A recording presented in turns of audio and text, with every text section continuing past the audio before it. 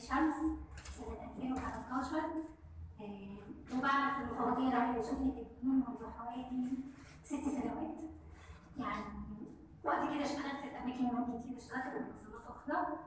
آه، أنا بشتغل في قسم تحديد وضع آه، بقالي سنتين.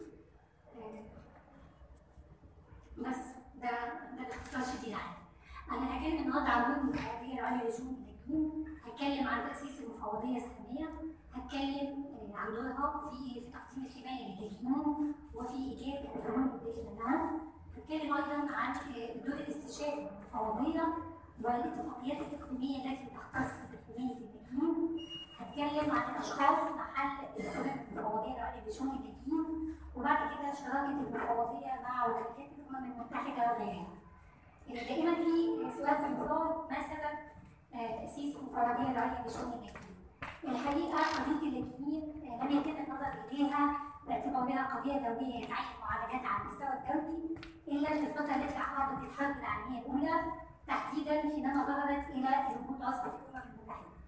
ففي ذلك الوقت كان التصدي لمشكلة اللاجئين بيتم بصورة بطيئة ومتقطعة.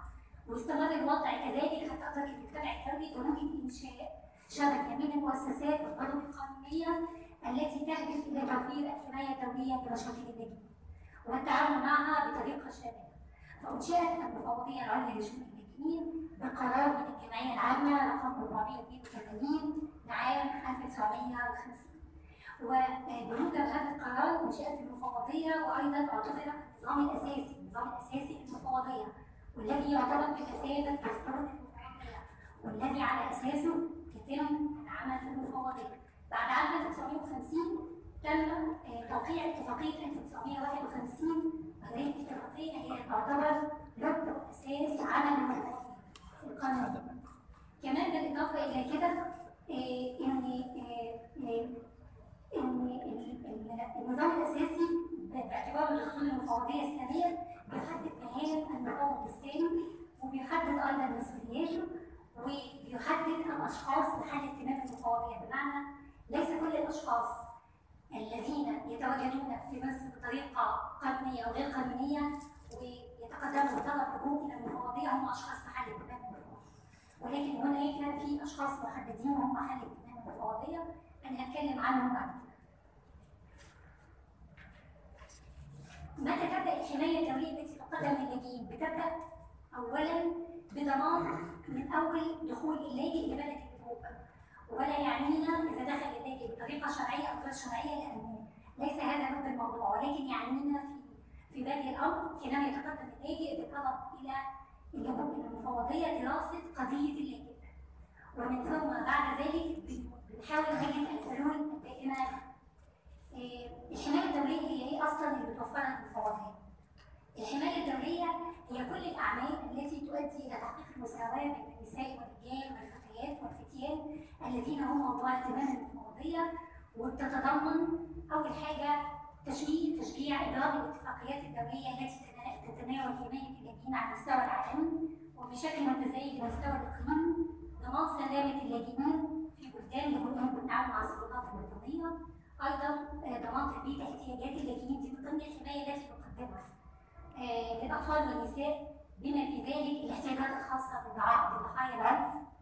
من النساء أيضا التعاون ودي بقى شيء مهم جدا التعاون مع الهيئات والحكومات لأن المفوضية العليا لا يمكن أن تقوم بدورها بدون تعاون مع الحكومات.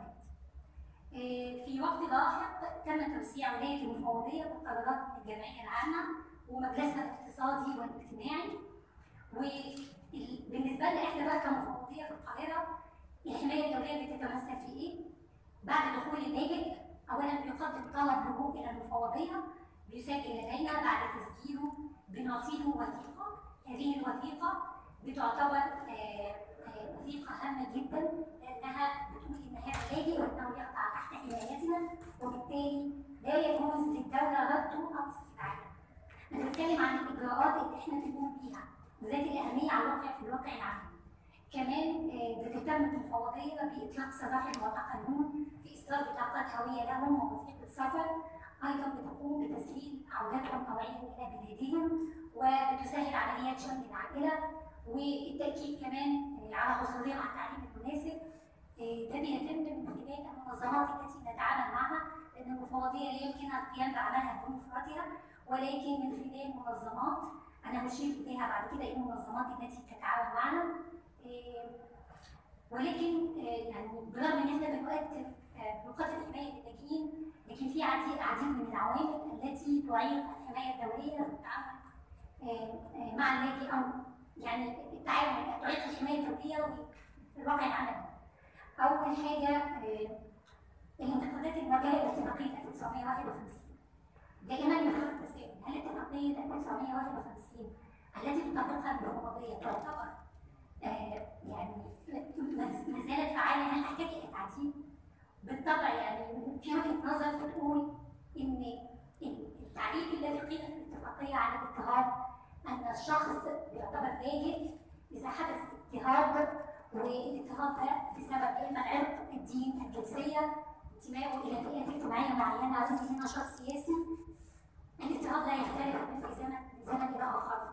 وبالتالي الاتفاقية بتطبق ويعني وهذا لا يوجد مشكلة في هذه الاتفاقيه ومن الممكن كمان الاستعانه بها ليس بس اتفاقيه 51 ولكن أيضا اتفاقيه 69 وبتقول 67 كمان أنا عايزة أقول إن في سؤال دايما يثار ودايما يعني إحنا بنسمعه المفوضيه العليا هي التي تقوم بالحماية المفوضيه العليا هي التي تقدم المساعدات ولكن من المسؤول الأول عن حماية اللاجئين؟ المسؤول الأول عن حماية اللاجئين هي الدولة. الدولة هي التي تقوم اللاجئين. هناك العديد من الدول التي استطاعت فيها الدولة أن تقوم بعمليات تسجيل اللاجئ وتحديد وضعه. زي مثلا تركيا.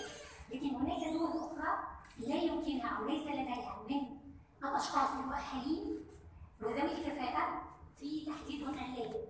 فبتقوم المفوضية بذات تكون نيابه عن الدولة ولكن أيضا طبعا تحت إشراف الدولة. بالإضافة إلى كده هنلاقي إن المفوضيه في هذا الموضوع لها دور استشاري مهم جدا إنها بتتمتع بقدر كبير من الخبرة التشريعية والعملية في تسيير وتطبيق اتفاقية اللاجئين في العديد من بتلعب دور مهم جدا في إجراء تقرير الخطر أيضا يتم اختيار المفوضيه بطلبات اللجوء وطلبات التماس اللجوء بالنسبة للأشخاص اللي بتدخل إلى إلى إلى حدود الدول بتتاح لها فرصة إنها تطلع على الملفات وتقوم بعمليات الاستئناف وبتقوم بابداء ملاحظاتها وتقوم برفض التماسات اللجوء وعلى اساسها بيتم تحديد من هو اللاجئ ومن هو المهاجر بناء على مقابلات بيتم تحديدها مع الشخص نفسه ونقدر نحدد هو فعلا مهاجر ولا هو لاجئ. إيه كمان في الإجراءات الخاصة بعمليات الطلب والترحيب إحنا بنتدخل في هذا الموضوع. ليس بصفة إن إحنا نجبر الدولة على على القيام بذلك أو على عدم القيام بذلك ولكن محاولة منا لأن تقوم الدولة بتنفيذ التزاماتها التعهديه بعدم الطلب والترحيب للاجئين.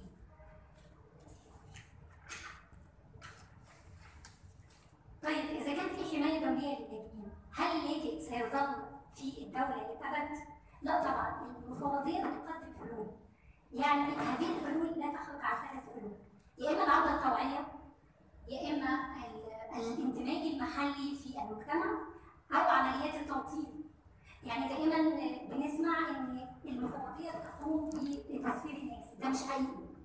التوطين يعني تعتبر حل من الحلول وليس الحل الأساسي للمفوضيه المفوضيه بتعتبر إن العودة الطوعيه للوطن هي الحل الأمثل والافضل لغالبيه اللاجئين الهجوم وبتتطلب المفوضيه انها بتوفر مستوى معين من السلامة والأمن قبل أن تشجع بصوره ايجابيه للعودة الطوعيه إحنا عندنا كمان قسم متخصص اسمه voluntary repatriation موجود عندنا في المفوضيه خاص بالعودة الطوعيه كمان القانوني اتفاقيه 51 لم تتضمن